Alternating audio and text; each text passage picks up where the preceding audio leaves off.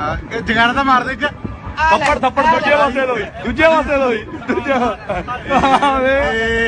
ਛੱਡ ਛੱਡ ਬਈ ਚੱਲ ਚੱਲ ਚੱਲ ਦੂਜਾ ਵੀ ਦੂਜਾ ਵੀ ਹਾਂ। ਦੱਸ ਆਹ ਗੱਲ ਹੋਈ।